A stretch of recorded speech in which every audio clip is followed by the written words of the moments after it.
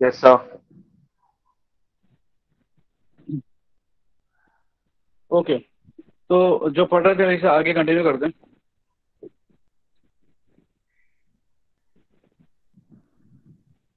Sir syllabus क्या geology का test के लिए?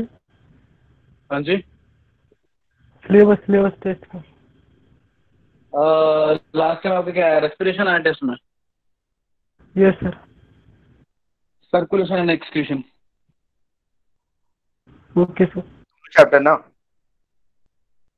Circulatory system and excretory system दो आएँगे ना? दो हो गए ना?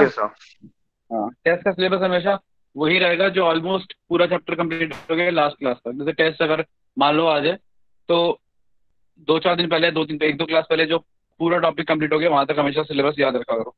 तो एक्सक्रीटरी सिस्टम तक आपका टेस्ट होगा सर्कुलेटरी एंड एक्सक्रीटरी दो चैप्टर्स और एक बात और ध्यान रखिएगा। मैं आपको पहले एडवांस बता रहा हूँ मुझसे पूछना मत ठीक है? एक बार जब ये एंडोक्राइन हो गया नर्वस और एंडोक्राइन दो, दो पर चैप्टर रहे हैं जहाँ ये नर्वस और एंडोक्राइन कंप्लीट हो गया ठीक है? वहीं पर मैं आपका आ, पूरा फिजियोलॉजी का test digestion to nervous system एक साथ लूँगा। ठीक है? तो जैसे ही नर्वस खत्म होगा आपको पहले बता रहा हूँ गेट रेडी आपका नर्वस सिस्टम खत्म होते ही आपका पूरा का पूरा टेस्ट डाइजेस्टिव से लेके नर्वस सिस्टम तक. कंप्लीट सिलेबस का टेस्ट होगा, ठीक है, तब इलेवेंथ का मतलब कि फिजियोलॉजी ठीक है ना? और हाँ उसमें स्ट्रक्चरल ऑर्गेनाइजेशन में इंक्लूड कर लेंगे, क्योंकि वो भी फिजियोलॉजी का एक पार्ट है एक तरीके से. ठीक, चलो तो आगे बात करते हैं. मैं स्क्रीन प्रेजेंट कर रहा हूँ.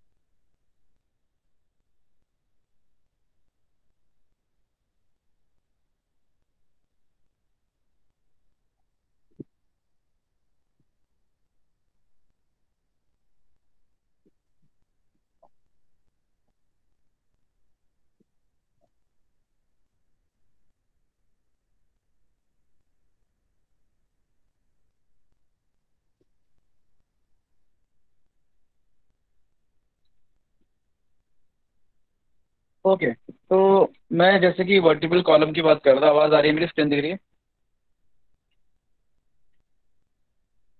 यस सर हाँ।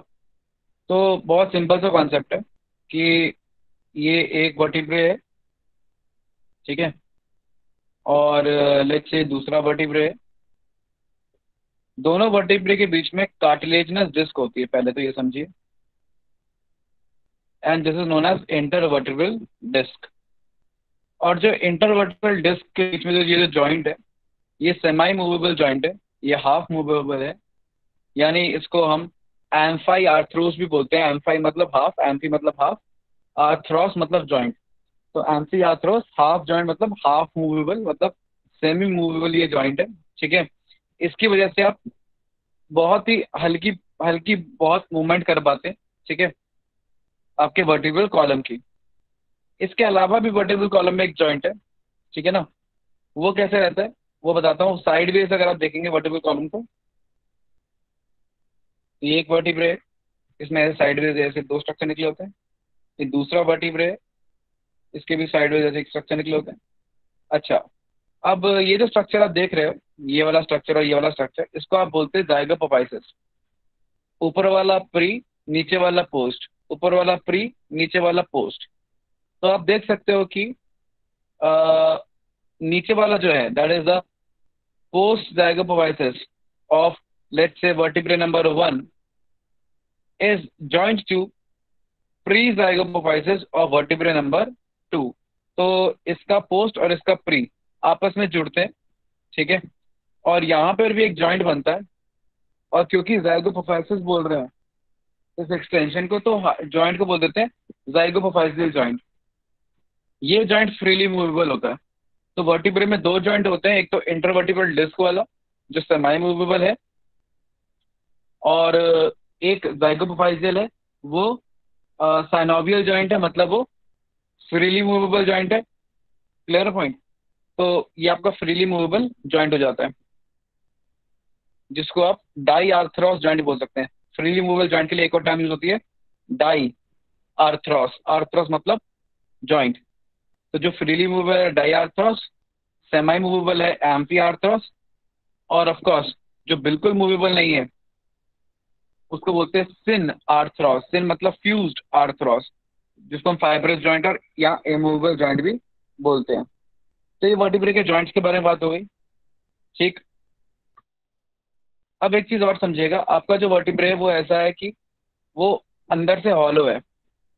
अंदर से उसमें कैविटी है और उस कैविटी के अंदर, है ना, एक फ्लूड फ्लो कर रहा है जिसको आप जानते हैं, मैं अपने सुना का नाम the cerebrospinal fluid C S F तो सेरिब्रोस्पाइनल फ्लूड का नाम सेरिब्रोस्पाइनल फ्लूड इसलिए है, पहले बात समझिएगा कि आपका वर्टिबल कॉलम हॉलो है, उसे वर्टिब्रल कैनाल बोलते हैं।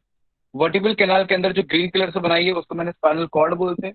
स्पाइनल कॉर्ड के अंदर स्पाइनल कैनाल होता है। उस स्पाइनल कैनाल के अंदर सेरेब्रो स्पाइनल फ्लूड होता है। तो कहने का मतलब ये है कि वर्टिब्रे खोखले हैं, उस खोखले इसलिए क्योंकि बीच में स्पाइनल कॉर्ड क्या कर रही है रन कर रही है। क्लियर है पॉइंट आ रही है बात समझ में?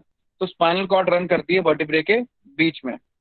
इसलिए आपकी रीढ़ की हड्डी बड़ी इंपॉर्टेंट हो जाती है। फिर आप कहते हो कि हम थोड़े झुक के बैठ गए, है ना?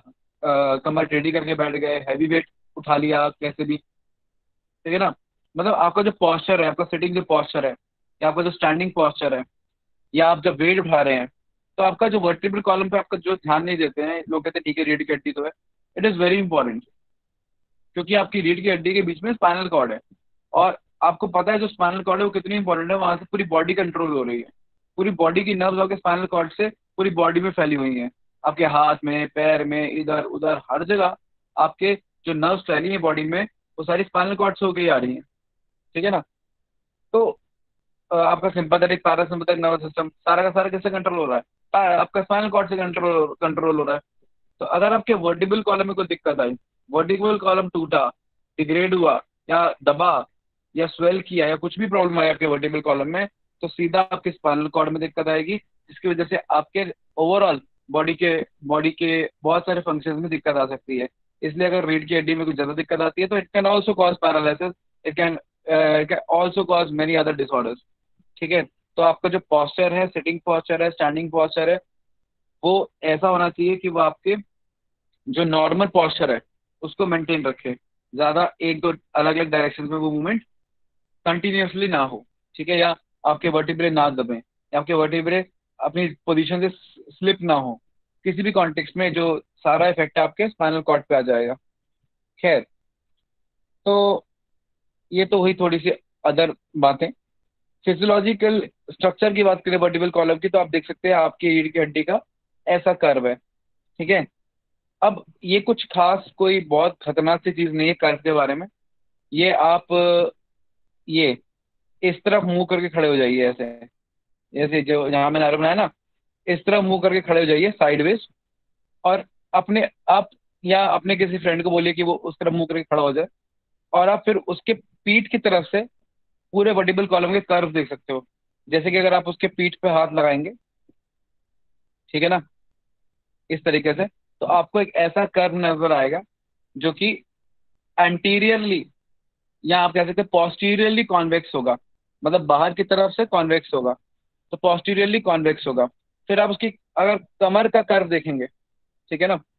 कमर का कर्व कैसे? है मतलब कि फ्रॉम जैसे पीठ पीठ के बैक में ऐसा कर्व है, उसी एंगल में आप उसके थोड़े लोअर रीजन पे लेके आएँगे, उसकी बैक पे, कमर की साइड पे आएँगे तो वो कर्व फिर कुछ ऐसा हो जाएगा।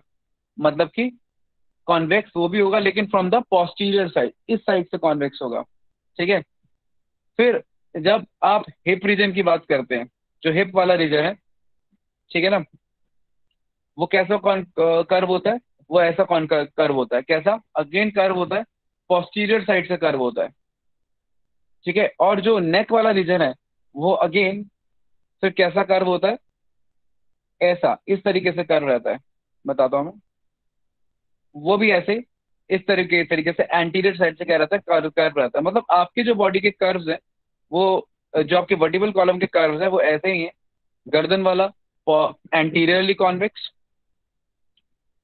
पीठ वाला पोस्टीरियरली कॉन्वेक्स कमर वाला अगेन एंटीरियरली कॉन्वेक्स और हिप वाला पोस्टीरियरली कॉन्वेक्स इन कर्व के अपने अपने नाम है ऊपर वाला कर्व टॉप मोस्ट वाला जो है वो गर्दन का सर्विकल पीठ वाला थोरासिक कमर वाला लंबर और हिप वाला सैक्रल अब ये कर्व्स का नाम ऐसे क्यों है? क्योंकि ये वर्टिब्रे के ऊपर है। पहले जो शुरू के वर्टिब्रे आपका सर्विकल वर्टिब्रे हैं। गर्दन के वर्टिब्रे जो सेवन होते हैं अगर आप मैमल है तो। ठीक है ना? मैमल है तो साथ ही रहेंगे। फिर थोरैक्स में वर्टिब्रे बारह हैं। थोरैक्स के वर्टिब्रे की खास बात क्या होती है कि थोरैक्स के सारे वर्टिब्रे से आ, ये निकल रही होती है क्या कहते हैं इसको? रिब्स निकल रहे होते हैं। मतलब जितने आपके थोरैक्स के वर्टिब्रे हैं सबसे एक एक पेयर रिब निकलेगा। तो ये बारह है। तो आपके बारह पेयर ऑफ़ क्या है? रिब्स भी हैं। तो बहुत ही सिंपल याद करना जितने पेयर आपके रिब्स हैं उतने आपके थोरासिक वर्टिब्रे क्योंकि हर एक थोरासिक वर्टिब्रे से एक एक रिब बाहर निकलता है वन पेयर रिब बाहर निकलता है। फिर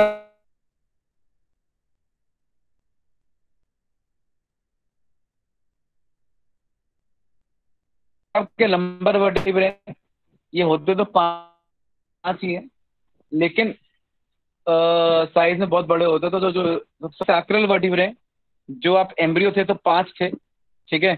लेकिन वो पाँच फ्यूज करके एक बोन बन गई है, दस साक्रम और फिट हो गई है पेल्विक गर्डल में। ये जो आप देख रहे हो सैक्रम है ट्राइंगल शेप बोन और ये फिट हो जाती है किसके अंदर? ये फिट हो जाती है आपके पेल्विक गर्डल के अंदर। मान लीजिए ऐसा का पेल्विक गर्डल है तो उसमें ये फिट हो जाएगी द साक्रम ठीक है? तो ये साक्रम है, जो कि पेल्विक गर्डल में जाके क्या जाती है फिट हो जाती है।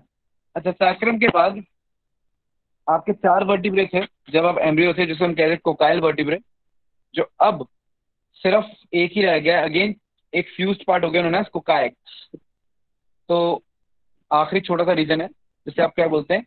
कोकाइक्स बोलते हैं। पहले आप इसको देख लीजिए जरा एक बार, कि मान लीजिए ये आपका पेल्विक गर्डल है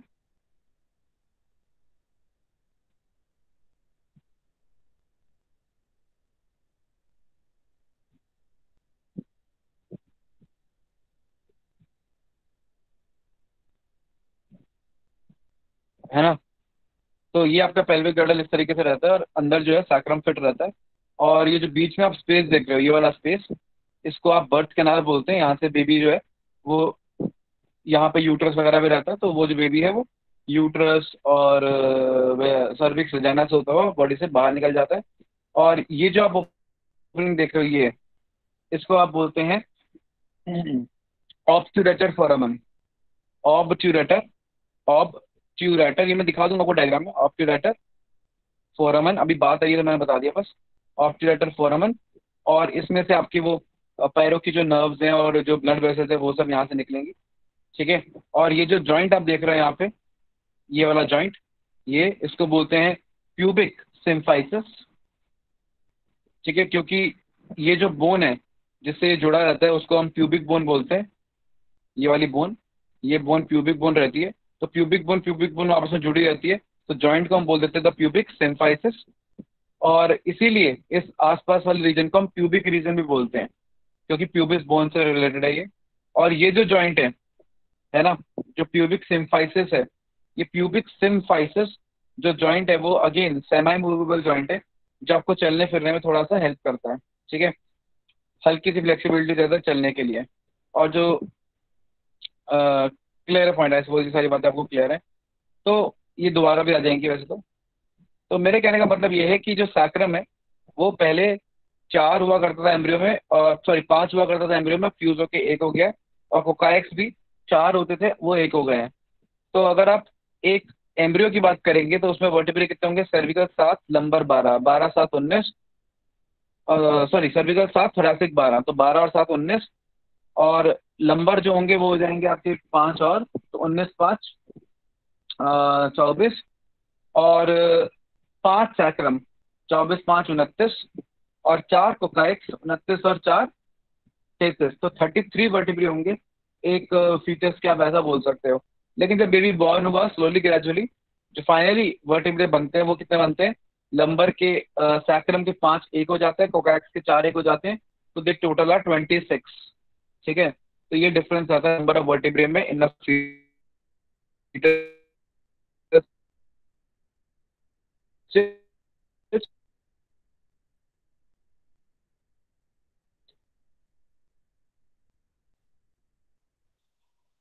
सर आपकी वॉइस नहीं आ रही है।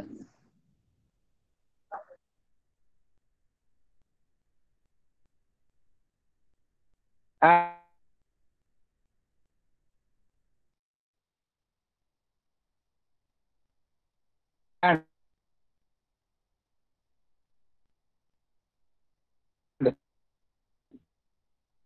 the adult stage. Clear point. Vertebral column में कोई डाउट है हाँ सर वो आपकी आवाज़ नहीं आई थी आप प्लीज़ लास्ट वाला पॉइंट फिर से बता दो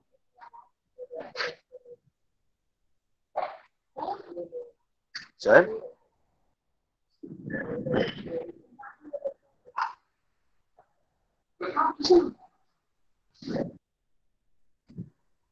सर आवाज़ आ रही है?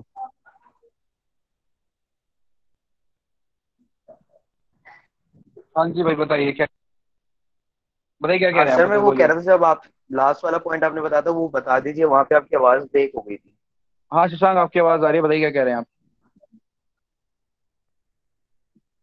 सर स्टार्टिंग से नहीं सुना था वो वाला पॉइंट तो बस उससे पहले बस आप क्या- कौन सा point थोड़ा याद सारी उनकी वर्टिब्रेस की काउंटिंग बताई थी आपने कि सर्वाइकल इतनी होती नंबर इतनी होती है उसके बाद वाला जो एक पॉइंट बोला था वो मिस हो गया।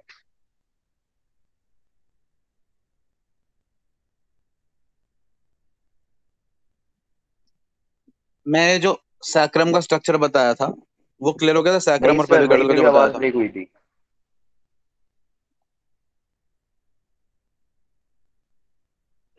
अच्छा। ये सबको आवाज़ ब्रेक होके आ रही थी ऐसे ये सिर्फ़ शशांक की प्रॉब्लम है? मैं रिजॉइन करूँ क्या वापस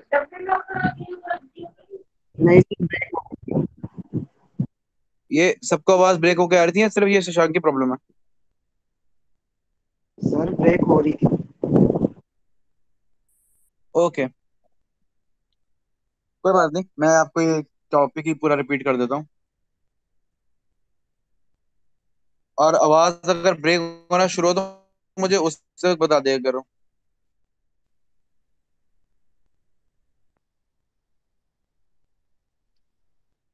मैंने बस इतना ही बताया आप लोगों को। अभी आवाज़ क्लियर आ रही है आप लोगों को? हाँ जी सर क्लियर है। यस सर मैंने सिर्फ़ इतना बताया था कि एक कर्व कर्व समझ में आ गया था? क्या क्या एंगल पे है?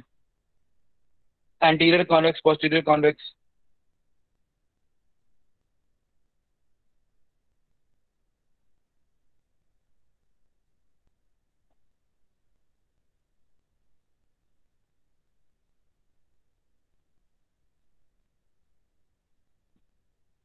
मेरी वॉइस आ रही है आप लोगों को। जी सर जी। हाँ जी सर आ रही है। तो मैंने जो कर्व्स बताए थे एंटीरियर कॉन्वेक्स पोस्टीरियर कॉन्वेक्स वो क्लियर हो गए थे? हाँ सर वो तो क्लियर है। वो उतना तो सुनाई दे गया था कि अपने दोस्त को खड़ा करना फिर आपको कर्व्स दिखेंगे। उसके बाद आपने नंबरिंग बताई थी। उसके बाद एक पॉइंट बोला था वो मिस हो गया था। मैं सैक, सैक्रम बता रहा था। सैक्रम क्लियर है? सैक्रम नहीं क्लियर है? नहीं सर नहीं क्लियर है ना। वही शायद बता मैंने ये बताया था कुछ हाँ कोई बात नहीं। अभी आवाज़ आ रही है ना? ये सर आ रही है। तो मैं ये बता रहा था सैक्रम के बारे में, माइक बंद कर लीजिए अपना, कि सैक्रम ये वाली बोन है है ना? और ये वाली जो सैक्रम बोन है, ये चार सॉरी पाँच सैक्रल वर्टिब्रे से फ्यूज होकर बनी है। फिटस होगा तो पाँच सैक्रल वर्टिब्रे होंगे। एडल्ट होगा तो एक बोन होगी सैक्रम। अब होता यही जो सैक्रम है, ये फिट होती है इसके अंदर। जिसको आप बोलते हैं। मैं इसका एक दूसरा डायग्राम बताता हूँ आपको। मेरे पास बना हुआ है। ही नहीं है। तो आज उसको ऐड कर लेंगे बाद में। खैर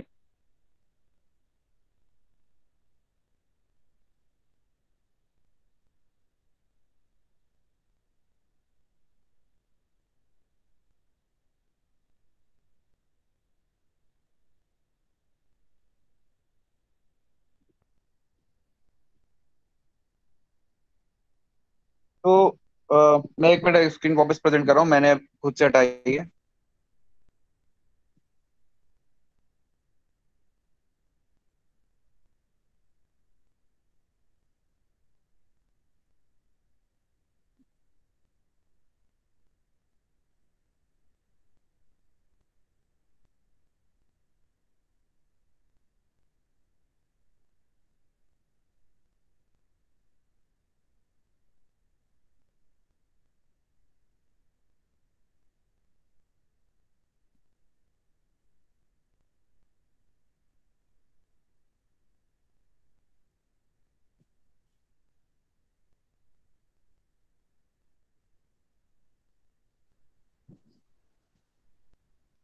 सर आपकी वॉइस नहीं आ रही। हाँ मैं कुछ बोल नहीं रहा हूँ। एक्चुअली मेरे को आज बोर्ड पढ़ाना था तो मैंने एक दो स्लाइड्स हैं जो ऐड नहीं करी थी। मैंने कहा था कि उसे बोर्ड पे पढ़ाएँगे। मैं बस वो स्लाइड्स ऐड कर रहा हूँ, बस दो मिनट जाइए। I just add the slides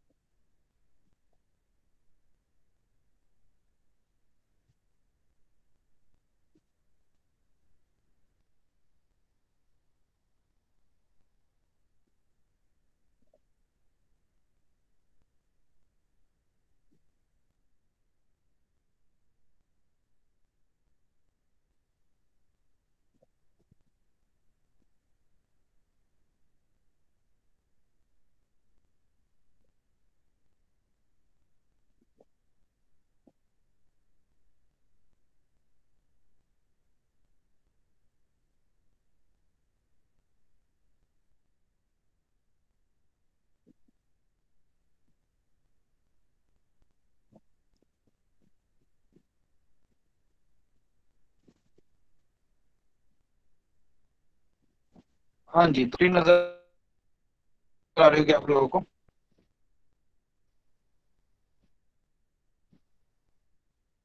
sir? मेरी आवाज़ उसकी नज़र आ रही है। हाँ जी सर। आ रही है? क्लियर आ रही है सब लोगों को? यस सर ओके तो मैं ये बता रहा था कि कि जो पाँच सैक्रल वर्टिब्रे होते हैं, वो ये एक बोन बनाते हैं सैक्रम आप आप ध्यान से देख सकते हैं। और इसके नीचे छोटा सा कोकाएक्स है।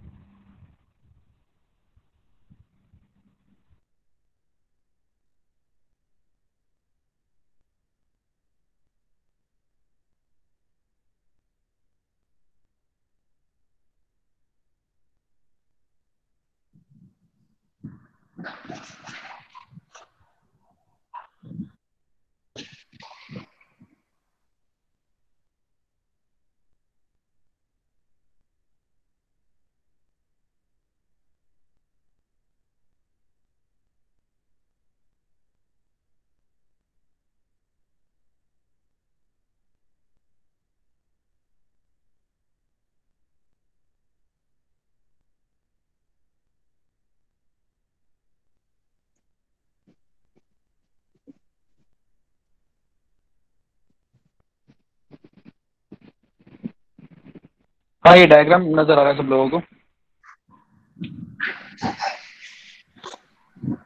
डायग्राम नज़र आ रहा है सब लोगों को। हाँ सर आ रहा है बीच बीच में गायब हो जाता है। नहीं कोई बात नहीं अभी आ रहा है ना क्लियर हाँ जी सर। हाँ तो मैं ये बता रहा हूँ बता रहा था कि वापस से शुरू कर रहे हैं कि ये जो आप बोन देख रहे हो ये सैक्रम बोन है जो चार पाँच सैक्रल वर्टिब्रे से फ्यूज होकर बनी है। और इसके नीचे जो आप देख रहे हो छोटे सा कोकाएक्स है जो चार कोकाइल वर्टिब्रे हुआ करते थे। अब सिर्फ़ एक कोकाक्स नाम की चीज़ रह गई है। अब आप देख सकते हो कि ये जो बोन है ये पेल्विक गर्डल में फिट हुई है। ये पेल्विक गर्डल है इसकी इस पेल्विक गर्डल की भी खुद की तीन बोन रहती हैं। जो ये सबसे बड़ी ग्रीन वाली से मैंने मार्क करी है ये इलियम है ठीक है? और ये जो आ, इसके साथ एक दूसरी बोन है इसे आप ईशियम बोल सकते हैं। ये वाली बोन ईशियम, पीछे से। और जो आगे से आ रही है, ये वाली एक तीसरी बोन ये प्यूबिस हो जाती है। तो मैं तीन अलग कलर यूज़ कर लेता हूँ। तो ग्रीन वाली इलियम रेड वाली आप बोल सकते हैं ईशियम, ठीक है? और वो उधर से ईलियम से जुड़ी हुई है। और ऊपर जो आप देख रहे हो, वो गई ब्लू वाली प्यूबिक बोन अब ये प्यूबिक और प्यूबिक बोन इधर से भी प्यूबिक बोन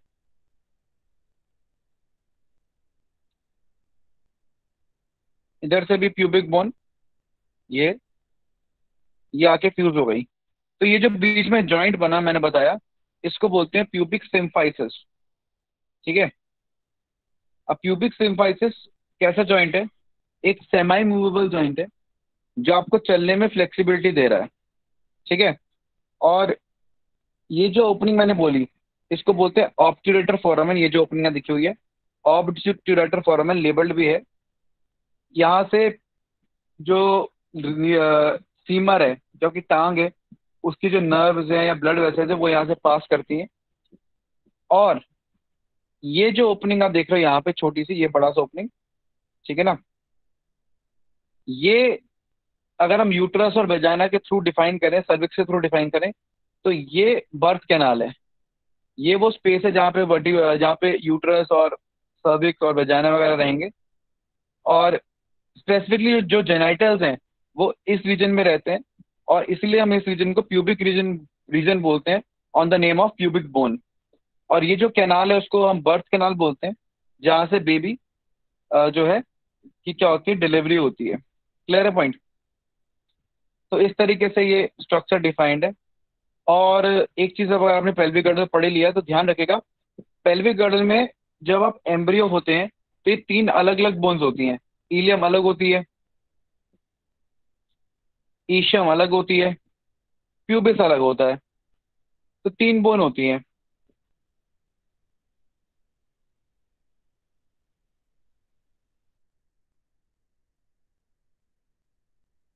लेकिन जब एक बेबी बॉर्न होता है, या जब डेवलपमेंट होती है कि तीनों बोन फ्यूज जाती हैं और एक इसको हम बोलते हैं सिंपल इनोमिनेट या कॉक्सिल बोन कॉक्सिल बोल दिया या इन नॉमिनेट जिसका नाम ना हो इन नॉमिनेट तो इन नॉमिनेट सिंपली या बोल देंगे क्या?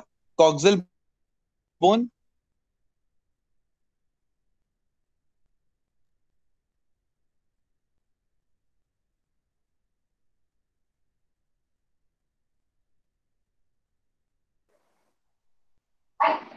सर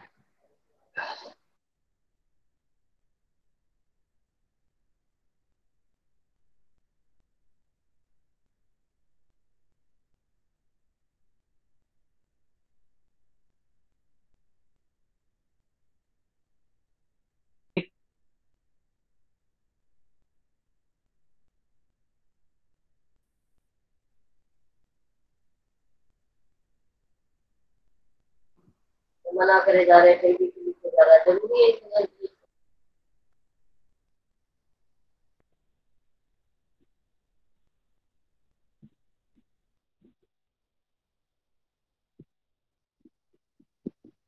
ये जो अभी जो पढ़ाया मैंने आपको ये आप आपको क्लियर है अभी? सर आपकी तो स्क्रीन ही शो हो रही मुझे। अरे स्क्रीन पर भी बंद करी है। मैंने बंद करी है। आपकी तो आव, आवाज़ आवाज़ नहीं आ रही तो मुझे लगा शायद स्क्रीन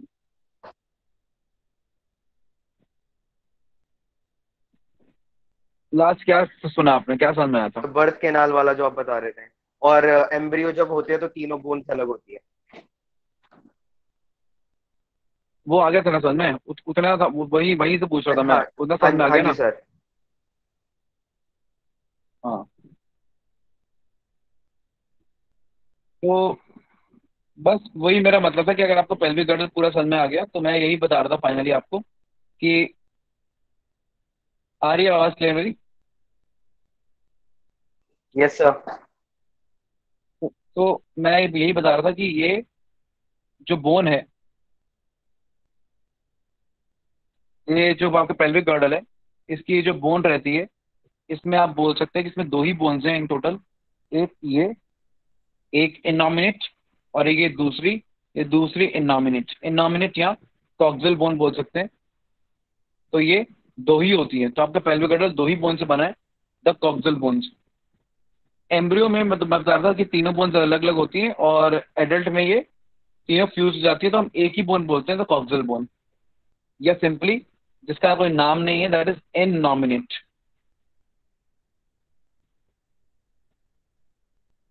without any name खैर तो यही कॉन्सेप्ट मैं आपको बता रहा था। और जो आपको बताना चाह रहा था मैं, इसी डायग्राम के अंदर अगर आप देखोगे, ये वाला पार्ट आपको ये वाला पार्ट नज़र आ रहा है दिस वन ये कॉन्केविटी सी दिख रही है ये।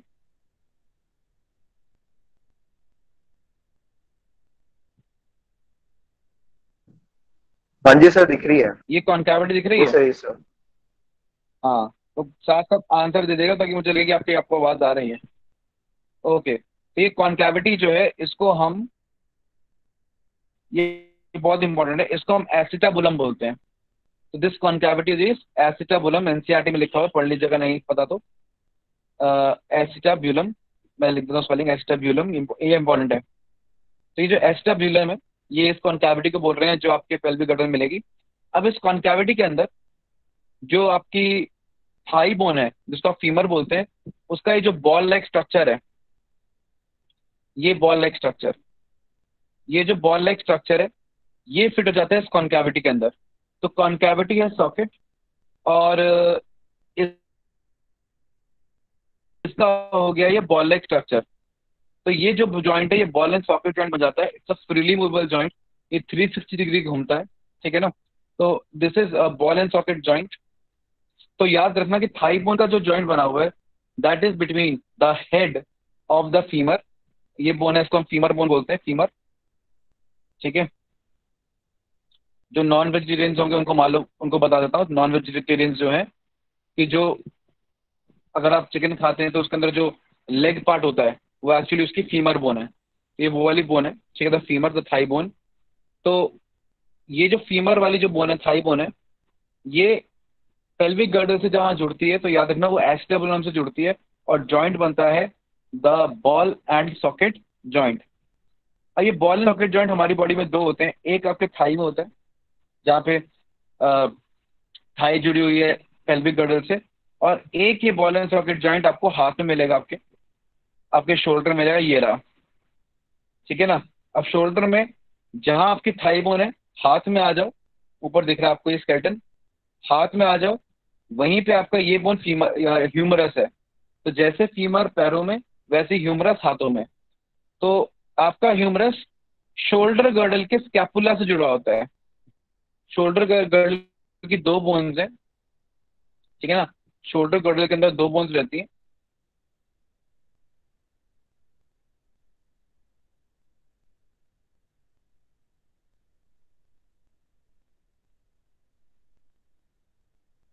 आपके शोल्डर गर्डल के अंदर इन टोटल दो बोन्स रहती हैं।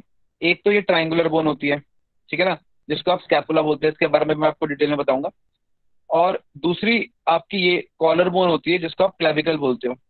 कॉलर बोन तो आप अगर आपने आगे हाथ लगाए, ये शोल्डर के पास तो ये जो उठी हुई बोन है शोल्डर के जस्ट नीचे की तरफ़, ठीक है, सामने की तरफ़, ठीक है, जो आपके स्टर्नम से जुड़ी हुई है, ये वाली बोन इसको आप क्लाविकल बोलते हैं, ठीक है ना? तो ये क्लाविकल और ये ट्राइंगुलर बोन द स्कैपुला दो बोन्स होती हैं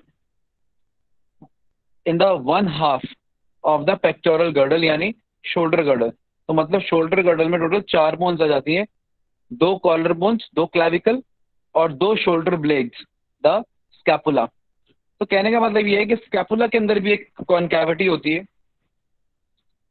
और इस कॉनकैविटी को बेटा बोलते हैं ग्लेनॉइड कैविटी तो जैसे पैरों में एस्टेबुलम था, आपके शोल्डर में ग्लेनॉइड कैविटी है glenoid G L E N O I D again concavity है ग्लेनॉइड कैविटी और जैसे फीमर का जो बॉल था, वो एसिटाबुलम में फिट हो रहा था, वैसे ह्यूमरस का जो बॉल है, वो ग्लेनॉइड कैविटी में फिट हो जाता है। और again ball and socket joint बनता है। तो आपका शोल्डर जॉइंट एंड आपका थाई जॉइंट दोनों ही आपका बॉल एंड सॉकेट जॉइंट है।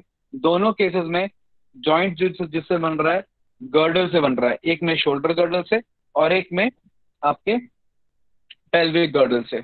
तो ये बात याद रखिएगा ठीक है? ओके ये बातें सारी क्लियर है आपको जो मैंने बताया अभी तक। आगे बात करें। यस सर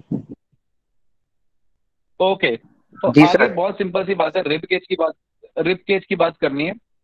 अब रिब केज की बात करने के लिए तीन चीज़ें सामने आती है एक आपके थोरासिक वर्टिब्रे दूसरे आपके रिब्स और तीसरे आपका स्टर्नम पहले स्टर्नम के बारे में पढ़ाता हूँ फिर रिब्स के बारे में पढ़ाऊँगा फिर जॉइंट सबको मिला के पढ़ाऊँगा। स्टर्नम समझ लो स्टर्नम आपके छाती की बोन है इसको आप ब्रेस्ट बोन भी बोलते हैं खंजर की तरह होती है तो डैगर बोन भी बोलते हैं ठीक है? या सिंपली स्टर्नम भी बोलते हैं। तो sternum dagger bone breast bone एक ही बात। बर्ड्स में नहीं रहती, बर्ड्स में इसकी जगह कील रहता है के डबल एल कील। खैर कॉन्सेप्ट ये है कि जो स्टर्नम है, आपके जो रिब्स हैं, बहुत सिंपल सा कॉन्सेप्ट है। आपके रिब्स पीछे से आते हैं वर्टिब्रल कॉलम से आते हैं, और पीछे से वर्टिब्रल कॉलम से आके, आगे आके स्टर्नम पे जुड़ जाते हैं। पीछे वर्टिबल कॉलम से आएँगे, आगे स्टर्नम पे। पीछे वर्टिबल कॉलम से आएँगे और आगे स्टर्नम पे जुड़ जाएँगे। तो मतलब रिब्स को ज्वाइन करने वाला जो स्ट्रक्चर है थोरैक्स से आने के बाद वो आपका स्टर्नम है। अब थोड़ा कॉन्सेप्ट समझते हैं हम, थोड़ा रिब्स के बारे में समझते हैं। अच्छा ये याद रखिएगा कि स्टर्नम के नीचे एक कार्टिलेजनस प्रोसेस है, जिसको हम जिफॉइड कार्टिलेज बोलते हैं। अगर डायरेक्ट क्वेश्चन आ जाता है तो ये जिफॉइड वर्ड याद रखिएगा X I P H O I D xiphoid cartilage जो आपके स्टर्नम के एकदम नीचे होगा। या स्टर्नम की पूंछ समझ लीजिए। खैर, एक छोटा सा कॉन्सेप्ट मैं आपको बताना चाहता हूँ। समझिएगा जरा, अगर मैं आपके रिब्स की बात करूँ तो आपके रिब्स कुछ इस तरीके से हैं।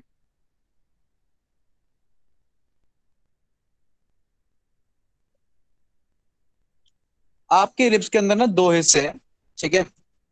एक हिस्सा है जो मैंने अभी ऑरेंज ऑरेंज से मार्क किया, ये वो हिस्सा है जो स्टर्नम से जुड़ेगा। और इसमें ऑरेंज वाला पार्ट कैसा होता है? कार्टिलेजनस होता है। तो स्टर्नम से जुड़ने वाला हिस्सा कार्टिलेजनस है। और इस कार्टिलेज का एक स्पेसिफिक नाम है कॉस्टल कार्टिलेज। दोबारा रिपीट कर रहा हूँ। स्टर्नम से जुड़ने वाला रिब्स का हिस्सा जो है, रिब्स का वो हिस्सा जो स्टर्नम से जुड़ता है, वो कार्टिलेजनस होता है, उसका नाम है कॉस्टल कार्टिलेज, जिसके नाम पे इसके बीच में प्रेजेंट मसल्स भी होती हैं नोन एज इंटरकॉस्टल मसल्स जिसे आप रिब्स की मसल बोलते हैं, जो रेस्पिरेशन में हेल्प करती है। याद है आपको इंटरकॉस्टल मसल रेस्पिरेशन के लिए?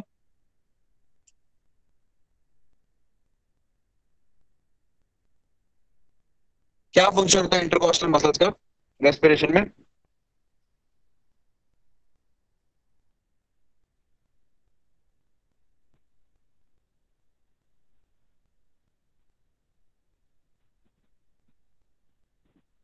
हाँ जी, मैं आप लोगों से पूछ रहा हूँ। क्या फ़ंक्शन होता है एक इंटरकॉस्टल मसल्स का रेस्पिरेशन के अंदर?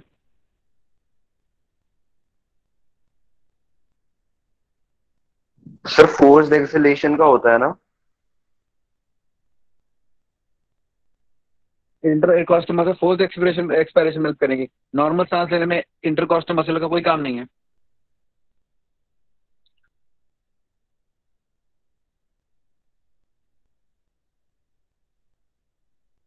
सर थोरेसिक कैविटी का वॉल्यूम वॉल्यूम को डिक्रीज और इंक्रीज करने के लिए हेल्प करती है कौन सी वाली? इंटीरियर या एक्सटीरियर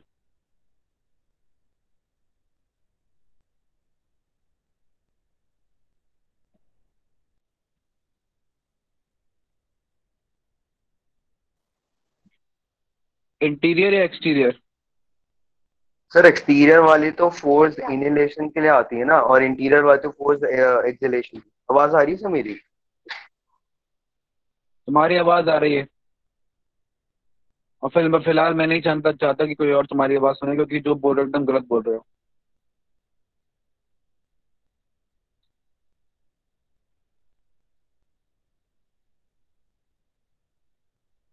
पहली चीज़ एक्सटर्नल इंटरकॉस्टल मसल्स हेल्प करती है। एक बात बताओ रेस्पिरेशन में कौन सी मसल्स हेल्प करती है? तुमको रेस्पिरेशन का मैकेनिज्म में होता क्या है? कैसे सांस लेते हो तुम? एनसीआरटी का बेसिक सा कॉन्सेप्ट है। कैसे सांस ली जाती है?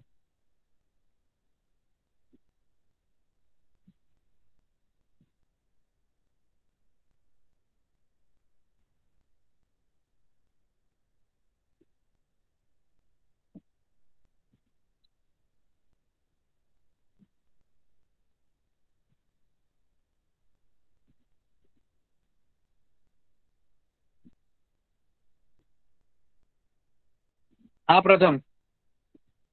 जी सर। सांस कैसे ली जाती है? सर इंटरकोस्टल मसल्स और हमारी स्टर्नम जो है मतलब कि एंटीरियर पोस्टीरियर रीजन में वॉल्यूम को इंक्रीज और डिक्रीज करती है जिसकी वजह से प्रेशर इंक्रीज डिक्रीज होता है रिस्पेक्ट टू एटमॉस्फेरिक प्रेशर तो इसकी वजह से हम सांस ले पाते हैं। हाँ सिंपल सा है। कि इंटरकॉस्टल मसल्स एक्सटीरियर वाली और आपके ये डायफ्राम की मसल्स ये दो मसल्स कॉन्ट्रैक्ट करती हैं। एक की वजह से वॉल्यूम इंक्रीज होता है एंटीरियर पोस्टर एक्सिस में, एक की वजह से इंक्रीज होता है आपके डॉर्सो वेंट्रल एक्सिस में और तुमने एकदम गलत बोला है। एंटीरियर पोस्टर एक्सिस के अंदर जो वॉल्यूम इंक्रीज होता है वो डायफ्राम की वजह से होता है प्रथम। डायफ्राम नीचे जाएगा तो एंटीरियर पोस्टर एंटीरियर तुम्हारा सर है ना पोस्टीरियर तुम्हारे पैर है तो ऊपर नीचे में वॉल्यूम इंक्रीज हुआ तो वो एंटीरियर पोस्टीरियर हुआ ना? तो जो इंटरकॉस्टल मसल्स की वजह से वॉल्यूम इंक्रीज हो रहा है वो डॉर्सो वेंट्रल एक्सिस में इंक्रीज हो रहा है। ओके सर ओके कंफ्यूज हो गया था सर नहीं होना ना कंफ्यूजन एनसीईआरटी की लाइन में कंफ्यूज नहीं हो सकते ना आप।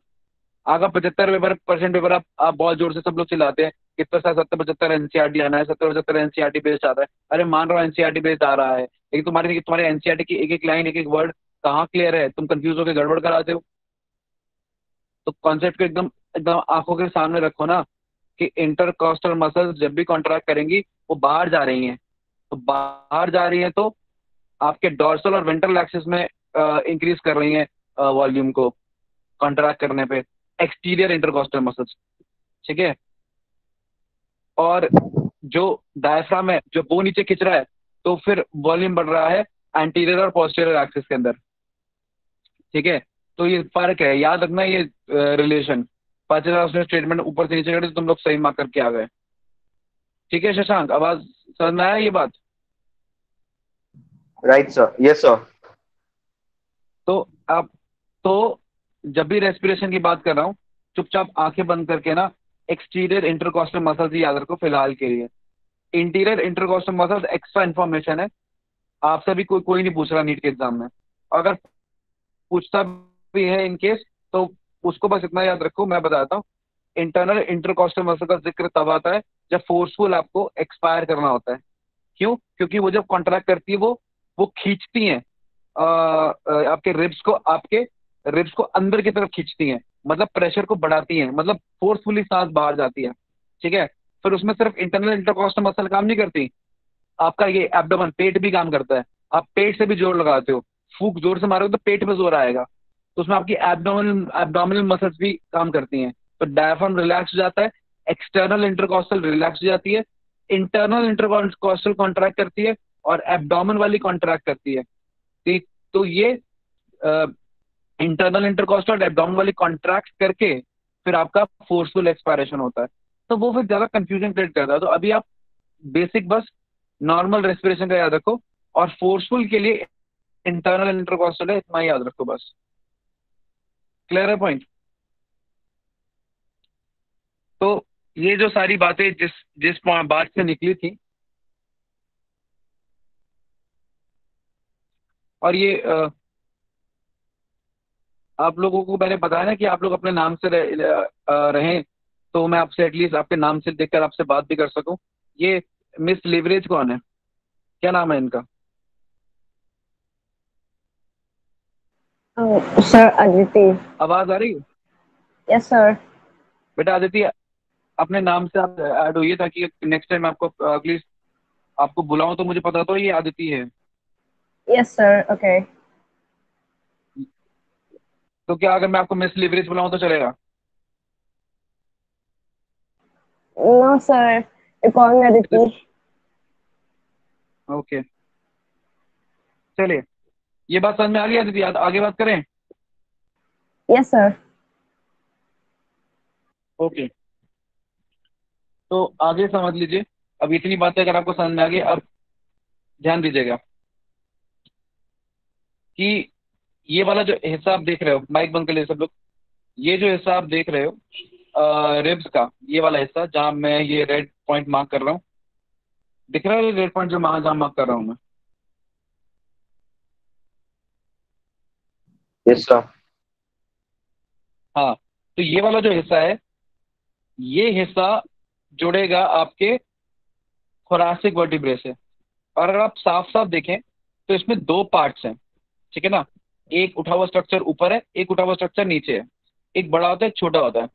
अब ये इस वजह से, क्योंकि इस तरीके से दो स्ट्रक्चर हैं, आप रिब्स को ह्यूमन रिब्स को बाई डायमस बोलते हैं। और ये बहुत ही सिंपल से एनसीआरटी बेस्ड क्वेश्चन है। आपकी नीट में साफ़ साफ़ पूछ लेगा the human ribs are biramous triramous monoramous tetraramous तो सिंपल सा मतलब है बाइफार्केटेड है या बाईरामस रिब्स है, कौन से वाले? ह्यूमन के। तो ये बात आप याद रखेंगे कि ह्यूमन रिब्स जो है दे आर बाईरामस मतलब उसमें एक तरीके के हेड जो है वो बाइफर्केटेड है। मतलब कि ये पार्ट जो है, ये बाइफर्केटेड है। तो मैं ये सारी बातें आपको बता रहा था, ये बताने के लिए, जो सारा कॉन्सेप्ट ये चल रहा था, कि जो पार्ट आपके रिब्स का स्टर्नम से अटैच हो रहा है, वो पार्ट कार्टिलेजनस है। और उस कार्टिलेज को हम कॉस्टल कार्टिलेज बोलते हैं, जिनके नाम पे इंटरकॉस्टल मसल है, ये बताने के लिए। और जो पार्ट थोरैक्स से जुड़ रहा है, ये थोरैक्स वाला पार्ट हो गया और ये स्टर्नम वाला पार्ट हो गया। तो थोरैक्स वाला पार्ट बोनी और स्टर्नम वाला पार्ट कार्टिलेजिनस इतना सा कॉन्सेप्ट है माइंड में डाल लीजिएगा। नहीं डाल सकते तो फिर एक साल ड्रॉप करने के लिए तैयार हो जाइएगा। आगे बात करते हैं। अब आगे समझो, आगे मैं आपको रिब केज के बारे में बता रहा था। तो आपको रिब का स्ट्रक्चर समझ में आ गया फराक्स पता लग गया स्टर्नम पता लग गया। अब एक एक और एनसीआरटी बेस्ड क्वेश्चन आता है, बहुत सिंपल सा, कि कितने रिब्स स्टर्नम से जुड़े हैं? तो इसका आंसर है सात। ठीक है ना? सात रिब्स स्टर्नम से जुड़ते हैं, पहला, दूसरा, तीसरा, चौथा, पांचवा, छठा और सातवां। तो सात रिब्स सीधा आते हैं और आकर स्टर्नम से जुड़ जाते हैं। मतलब ये सारे रिब्स ध्यान सुनेगा, ये सारे रिब्स वर्टिब्रो स्टर्नल रिब्स हैं। मतलब एक तरफ़ से वर्टिब्रे से अटैच्ड दूसरी तरफ़ से स्टर्नम से अटैच्ड तो कोई आपसे पूछेगा कि कितने रिब्स वर्टिब्रो स्टर्नल है? आप बोलेंगे सेवन पेयर कौन से वाले? फ़र्स्ट सेवन और इन्हीं को हम ट्रू रिब्स भी बोलते हैं। तो कितने ट्रू रिब्स हैं? जो दोनों जगह जुड़े हैं वर्टिब्रल और स्टर्नम पे। ठीक?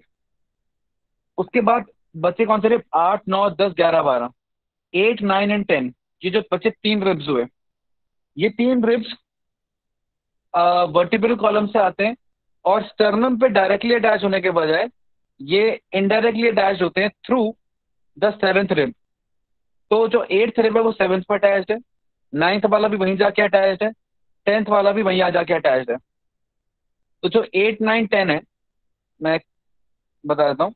एट्थ नाइन्थ एंड टेंथ बस सेवन के बाद इन eight nine ten tenth sorry ये गड़बड़ हो गया। ये आखिरी ये तीन है। Eighth ninth and tenth yes ये जो तीन रिब्स हैं, ये आप समझ सकते हैं कि ये सेवेंथ वर्टिब्रे पर अटैच होते हैं।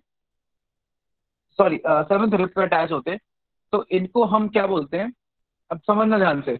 ये शुरू कहाँ से हो रहे हैं? वर्टिब्रल कॉलम से। और खत्म कहाँ पे हो रहे हैं? कार्टिलेज के ऊपर। किसके कार्टिलेज के ऊपर? सेवेंथ रिप के कार्टिलेज के ऊपर। और कार्टिलेज के लिए साइंटिफिक वर्ड क्या होता है? ये बताना जरा मुझे।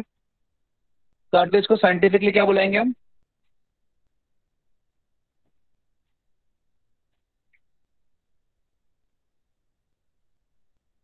Am I audible yes sir हाँ पार्थ. आवाज़ आ रही है मेरी पार्थ?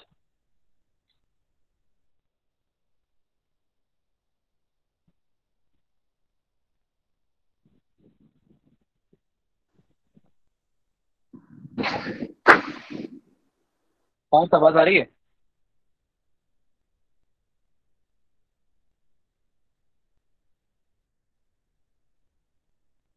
पार्थ नहीं सॉरी प्रथम.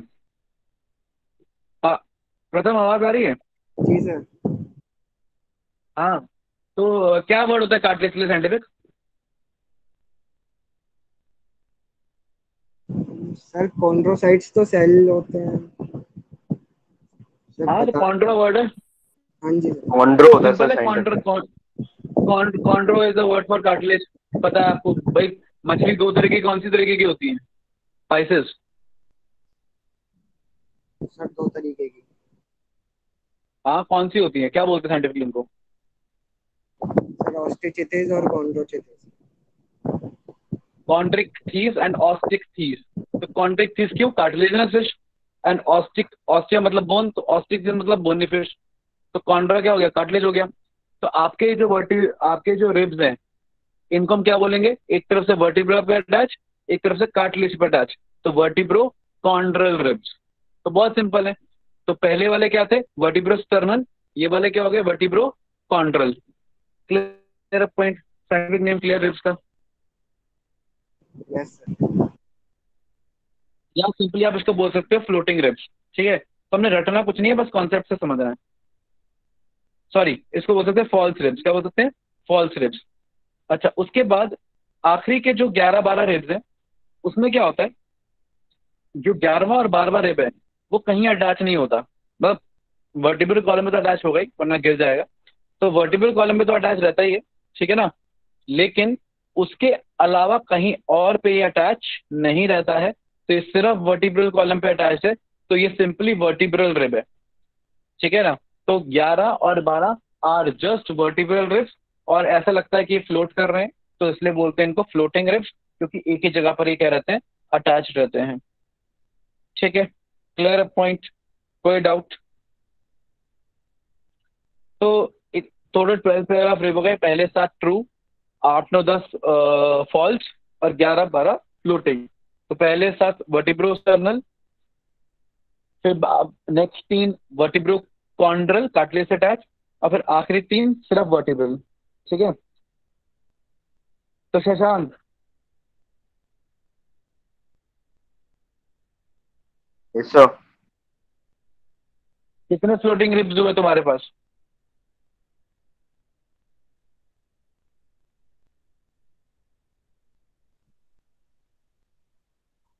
तो फ्लोटिंग रिब्स हाँ जी।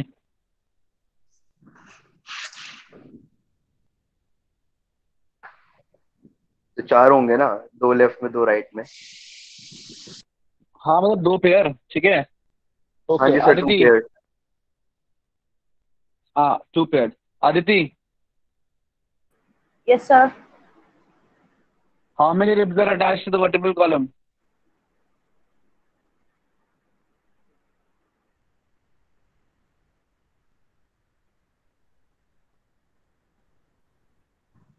sir seven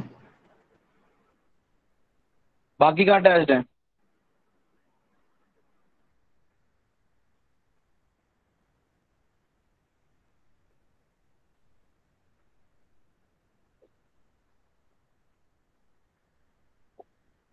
देखिए बंद कर लेते माइक ये कॉमन मिस्टेक है। पूछा कितने रिब्स वर्टिबल कॉलम से अटैच है? डायरेक्टली वर्टिबल कॉलम से अटैच है? बोल दिया अरे सारे रिब्स वर्टिबल कॉलम से अटैच हैं। रीड के एडीज पे सारे रिब्स आ रहे हैं। बात स्टर्नम के ऊपर है। सेवन स्टर्नम से अटैच है डायरेक्टली ठीक है? तो all ribs are attach to the vertebral column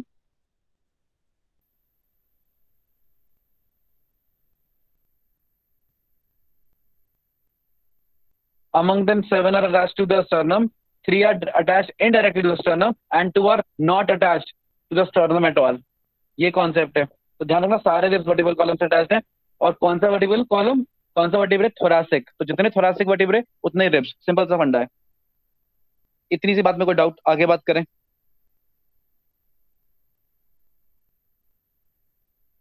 no sir आगे बात करें। ओके तो अ, ये जब आप ये जो डायग्राम देख रहे हो ठीक है? ये आपके ये शोल्डर गर्डल का डायग्राम है आपके शोल्डर ब्लेड का डायग्राम शोल्डर गर्डल का आपका जो शोल्डर गर्डल है ना अब पहले तो ये बात ध्यान से समझना आपका एक ही शोल्डर गर्डल होता है एक ही पेल्विक गर्डल होता है ठीक है ना? उसके राइट एंड लेफ़्ट हाफ़ होते हैं। तो आपका जो लेफ़्ट कंधा है वो एक हाफ़ है जो राइट कंधा है वो एक दूसरा हाफ़ है। तो आपका है एक ही शोल्डर गर्डल उसके दो हाफ़ हैं। अब आपके राइट कंधे में दो बोन्स हैं, आपके लेफ़्ट कंधे में भी दो बोन्स हैं। मतलब इन टोटल आपके शोल्डर गर्डल के अंदर चार बोन्स हो गई। अब वो दो बोन्स कौन सी कौन सी है? एक तो ये ट्राइंगुलर सी बोन है, जिसको आप शोल्डर ब्लेड बोलते हो। अब शोल्डर ब्लेड को बोलते हैं scapula S C A P U L A कहीं लिखा होगा, देख लेना। ठीक है? स्कैपुला स्कैपुला कहीं जगह लिखा हुआ है, देखो। राइट स्कैपुला राइट स्कैपुला दोनों का राइट स्कैपुला के डायग्राम से एंटीरियर पोस्टीरियर एस्पेक्ट से, ठीक है? खैर, अब स्कैपुला को अगर हम ध्यान से देखें तो स्कैपुला में देखो, ये प्रोसेस लंबा सा जा रहा है। इसका जो टर्मिनल पार्ट है, ये एक्रोमियन प्रोसेस है। जितनी बातें बता रहा हूँ डायरेक्टली क्वेश्चन आ सकते हैं इससे।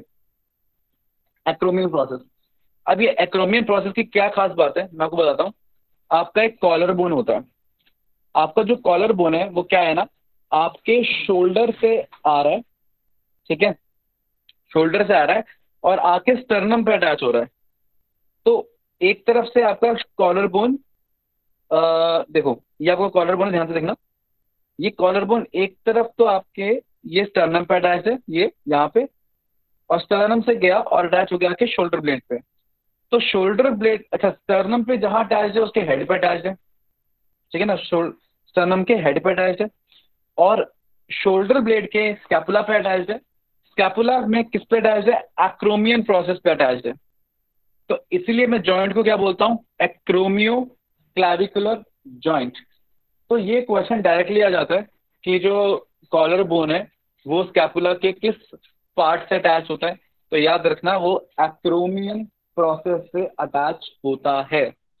एक और प्रोसेस है इसके पास कोराकॉइड प्रोसेस ये भी क्वेश्चन आ जाता है। कोराकॉइड प्रोसेस एक छोटा सा एक्सटेंडेड प्रोसेस है। ठीक है ना? जैसे यहाँ पे भी दिखा रखा है। ये एक, ये इधर भी दिखा रखा है इस तरीके से। तो एक और छोटा सा प्रोसेस है तो कोराकॉइड प्रोसेस प्रोसेस बायोलॉजी में एक्सटेंडेड स्ट्रक्चर होता है। तो कोराकॉइड प्रोसेस क्या है?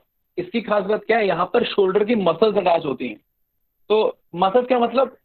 एक बात बताओ, ये बोन से मसल का कौन सा पार्ट पार्ट अटैच होता है?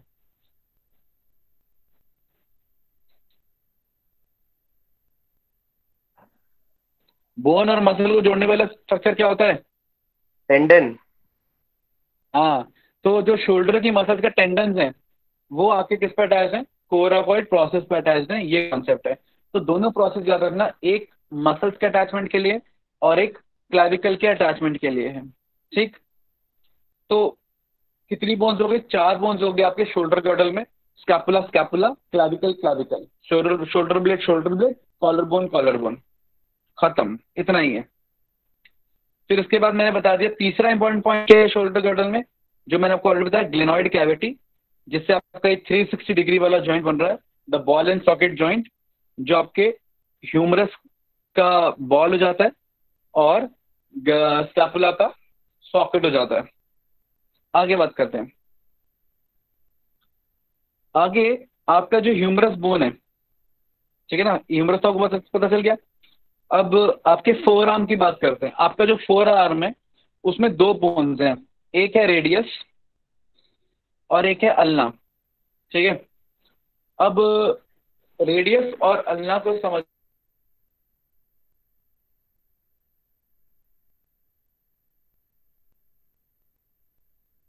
के लिए, ठीक है, मैं एक बार के लिए ना, आप लोगों के लिए कैमरा जो है वो ऑन कर रहा हूँ। आप मेरी तरफ़ देखिएगा आपको समझ में आएगा।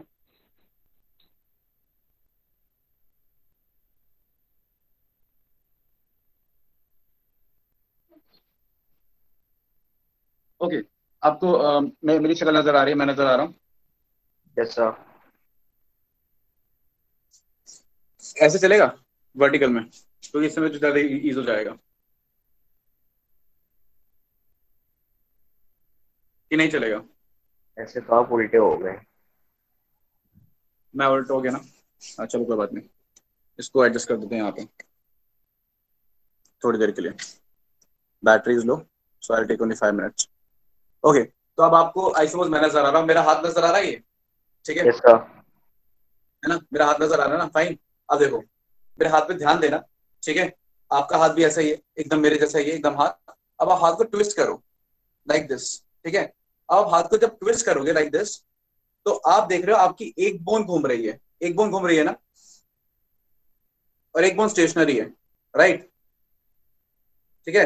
तो आपकी इस बोन में जो बोन घूम पाती है, जो ट्विस्ट कर रही है है ना? जो ट्विस्टिंग है, ये वाली बोन जो मेरे हाथ पकड़ी हुई है, जो अंगूठे के साइड में, जो अंगूठे के साइड में और जो घूम पाती है, ये वाली बोन रेडियस है। दिस इज़ द रेडियस और रेडियस के साथ में जो बोन है, ये वाली दैट इज़ द अल्ना तो जो घूमने वाली बोन है ठीक है वो रेडियस है ये वाली जो अंगूठे के साइड में और जो स्टेशनरी है वो अल्ना है। और रेडियस और अल्ना ये दोनों बोन्स कहाँ से जुड़ी हुई हैं? ये यहाँ से जुड़ी हुई हैं। दिख रहा ना ये पार्ट आ रही बात समझ में? ये समझ में आ रहा है? यस सर आप हाँ, पाम से कह तो- रहे हो। क्या? मैं ये कह रहा हूँ एल्बो हाँ ये दोनों को अच्छा ध्यान जुड़ी हुई है ना?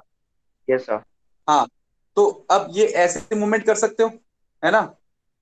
ऐसे मूवमेंट कर सकते हैं ना हम? यस सर आ रही बात समझ में? ओके तो जब हम ऐसी मूवमेंट कर सकते हैं इस तरीके से तो ये मूवमेंट कैसी है? ये ऐसी मूवमेंट है ऊपर और नीचे वाली जैसे आप अपनी फिंगर की कर पाते हो ये वाली है ना? ये मूवमेंट तो आपका ये जो ये उंगली वाला जॉइंट है दिस वन और ये वाला जॉइंट ये एक ही है and this is known as the क्या नाम गया joint.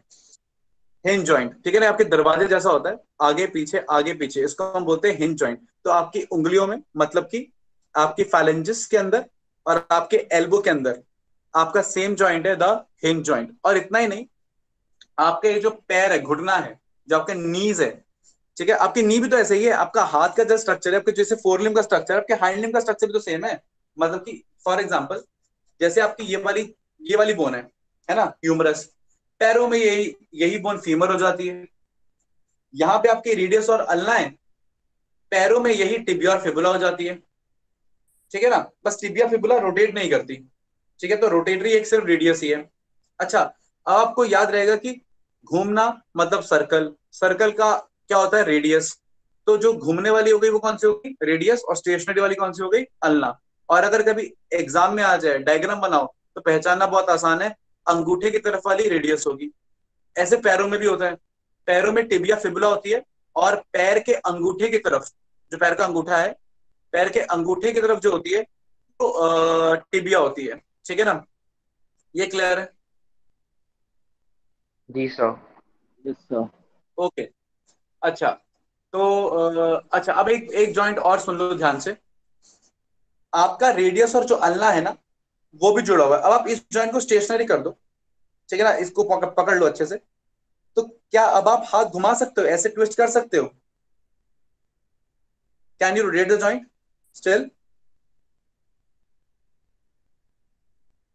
yes right अगर आप इसको ज्वाइंट को ऐसे पकड़ भी लो तो भी आप घुमा पा रहे हो ना हाथ को?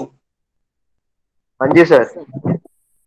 इसका इसका मतलब ये हुआ कि जो आप हाथ घुमा पा रहे हो वो इस एल्बो जॉइंट की वजह से नहीं है। क्योंकि अगर वो एल्बो जॉइंट की वजह से होता तो मैंने एल्बो जॉइंट जब रोक दिया तो हाथ घूम नहीं पा रहा होता। यस सर मतलब रोटेटरी जॉइंट कहीं और है रोटेटरी जॉइंट जो है ना वो आपके रेडियस और अल्ना के बीच में है। किसके बीच में? रेडियस और अल्ना के बीच में तो आपका जो रेडियस और अल्ना होता है मैं आपको अब स्क्रीन शेयर करके बताता हूँ।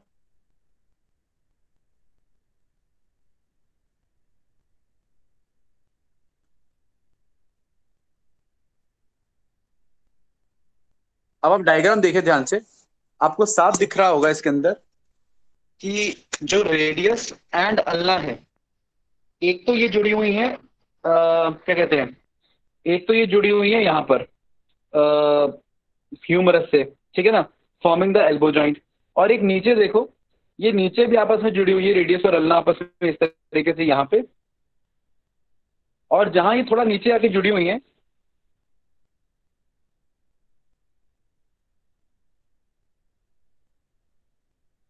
हाँ जहाँ ये नीचे जाके जुड़ी हुई है लाइक हेयर दिस रीजन ये आपका कौन सा जॉइंट है? रेडियो अल्नर जॉइंट रेडियस और अल्ना का आपस में जॉइंट और जो ये रेडियस और अल्ना में आपस में जॉइंट है ठीक है? इसको रेडियो अल्नर जॉइंट बोलते हैं and this is pivot joint कौन सा जॉइंट है ये?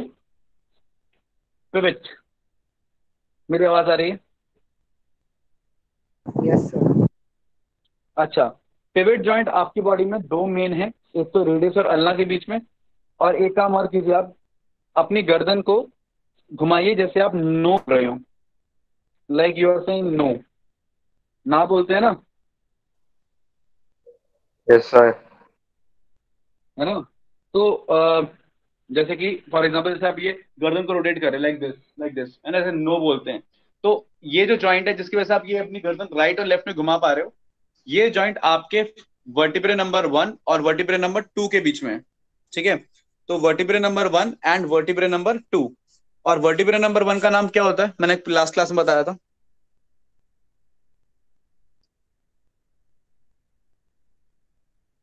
What is vertebrae number one atlas ठीक है? और वर्टिब्रे नंबर टू कौन सा है? एक्सिस तो एटलस और एक्सिस के बीच में जो जॉइंट है वो भी पिवट जॉइंट है। इसका मूवमेंट ही रोटेटरी होता है। मतलब आप मूवमेंट को देख के बता सकते हो कि जॉइंट कौन सा है। ऊपर नीचे मूवमेंट हो रहा है, जैसे आपके घुटनों में और एल्बो में तो हिंज जॉइंट 360 डिग्री मूवमेंट हो रहा है जैसे आपके शोल्डर में और थाई में तो बॉल एंड सॉकेट जॉइंट अगर रोटेटरी मूवमेंट हो पा रहा है, ठीक है, सिर्फ़ एक ही डायरेक्शन में, एक ही एक्सिस में रोटेटरी मूवमेंट हो रहा है तो पिवट जॉइंट जैसे आपकी गर्दन में एटलस और एक्सिस के बीच में, और आपके रेडियस और अल्ना के बीच में। अच्छा एक जॉइंट कल मैंने आपको और बताया था गर्दन का, जिससे आप गर्दन को ऊपर, नीचे, दाएँ, बाएँ up down left right sideways move कर सकते हैं। वो कौन सा जॉइंट था?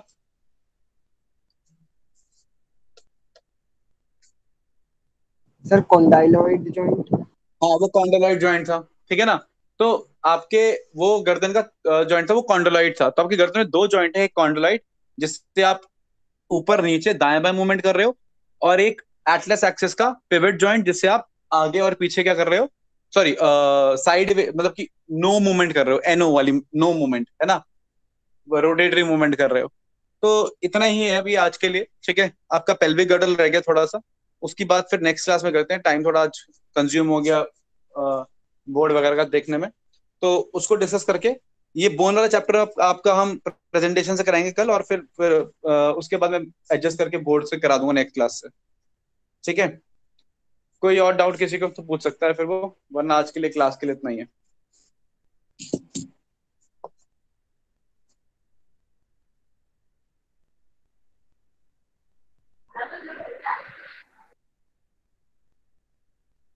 चलो